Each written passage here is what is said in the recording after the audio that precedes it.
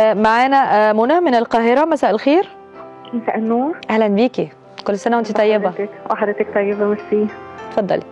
آه، بصي حضرتك أنا أول مرة أتكلم برنامج بس فعلا ومش هتبقى آخر مرة صح؟ آه فعلا آه. بس فعلا حضرتك كأنك بتحكي قصتي بالظبط. ياه. آه والله العظيم فعلا يعني.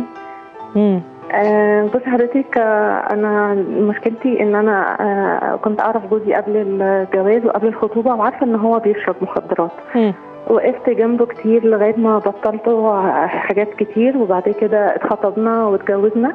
بس هو فضل مستمر مستمر بس على وعد إن هو هيبطل كل مرة. امم آه قبل ما اتجوز هيبطل قبل ما أحمل هيبطل قبل ما أولد هيبطل لغاية ما دلوقتي عندنا طفلين. ولغاية دلوقتي برضه نفس الكلام. أنا متجوزة بقالي 10 سنين. تمام.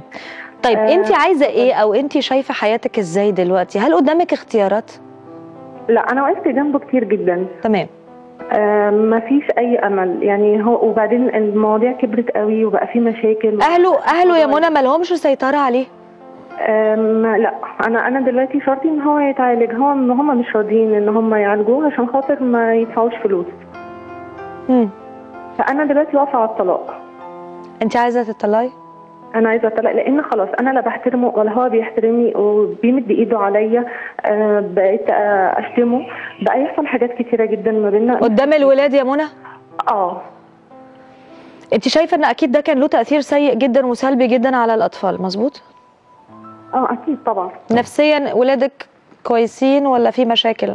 لا في مشاكل. الولاد دلوقتي نفسيتهم زي الزفت وأنا كنت بحاول إن أنا أحتويهم. آه، بس طبعا آه، شايفين إن الأب بيضرب الأم والأم بتشتم الأب وبقى في دلوقتي ما بيننا مشاكل جامدة جدا. ف تمام. تمام. آه، دكتور مدحت آه طب بس يا منى منى, عايز أسألك سؤال يا منى. اتفضل اتفضل حضرتك. ظهر حد برضه في حياتك كده؟ آه تمام. طيب ده السبب دلوقتي اللي مخليكي مشجعك تطلبي الطلاق؟ لا. طيب ضميرك مرتاح. ضميرك مرتاح إنك بذلت المجهود الكافي إنك تاخديه لبر الأمان وفشلتي؟ آه مطمئنة نفسيا لكده؟ آه تروحي تطلقي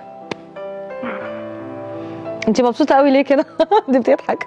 انت ما صدقت يا منى؟ لا استني. أصل بصي أنا استني لأن أنا عندي نقطة لا أنا اعلنت الاطفال خمس نقط قبل كده. تمام. الإدمان و- و- والإت- والاطمئنان ان هو مع المحاولات ويعود مرة أخرى. خلاص ما لا, لا طاقة لها به بالظبط. هياخد الفلوس وهيصرف الفلوس دي وهيبقى عيالها هيجوعوا وهي- وهيحتاجوا وكذا. نمرة اتنين الضرب المبرح والإهانة. دول مرفوضين تمام. بس فعندها عندها اتنين من خمس أسباب. الخيانة تتبعهم. البخل الشديد ممكن يكون نتيجة لو أدمن وصرف فلوسه على الإدمان هيبقى بخيل عليها وعلى بيتها. وممكن وممكن من. غير حاجة. في ناس. كده بطبيعتها. بالظبط كده. والضرب والاهانه كمان. طبعا. يعني اللي تقف جنبك واللي أقول لحضرتك عليها. اتفضلي آه، هو ما بيشتغلش مبدئيا وهو شغله بيبقى لنفسه. يعني أنا أهلي مم. أهله هو اللي بيصرفوا علينا. آه، هو بيشتغل لنفسه ما بيصرفش آه، على على البيت خالص. طيب يا منى هل تضمني إنه الآخر اللي هو دخل حياتك اولا هل هو ملم بظروفك كلها فاهم كل تفاصيل حياتك؟ أنا مش لا لحظة. واحدة معلش أنا آسف. لا أحسن تفهم عليه. غلط. استني. آه ما هو اوعى تفهمي كلام أنا بقول لك روحي الطلاق واتجوزي التاني. ما هو اوعى. ده اللي أنا بتكلم فيه. اوعي لا تطلق الأول أكبر غلطة ممكن تعمليها في حياتك مم.